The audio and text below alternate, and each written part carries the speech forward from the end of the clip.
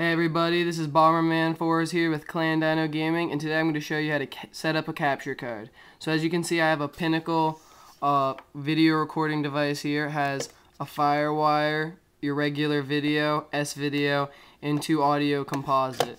Now this should be attached from a USB cable to your computer. I'm using a Dell laptop, works just fine.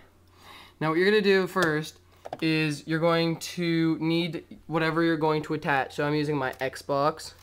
And the easiest, real simple way to set up your Xbox is you're really going to need an HD TV. So that's my HD TV. And you're going to plug in the HD component cables from your Xbox right into the side of your TV. Now once you do that, you should have one remaining cable and that will be your video component. Your composite sorry.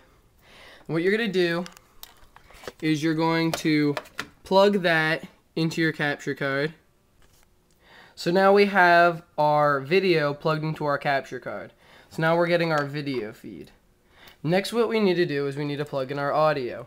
Thankfully my TV has two audio outputs so I can just run this double-sided um, RCA cable with uh, video and audio. You only have to use the audio into your Pinnacle or Dazzle or whatever capture card you're going to use. So this is basically the same up for a Dazzle um, or any other capture device that uses these same things.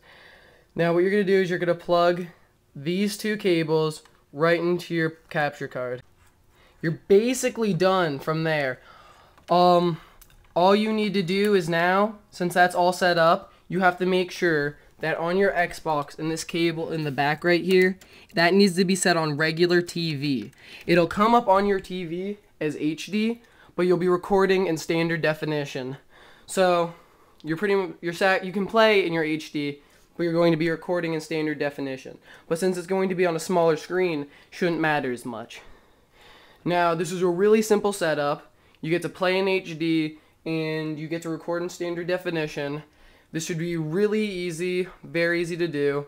It shouldn't really take you two trips to Radio Shack and one trip to Walmart. But just in case you don't have those audio outputs like my TV does, here's something you can do.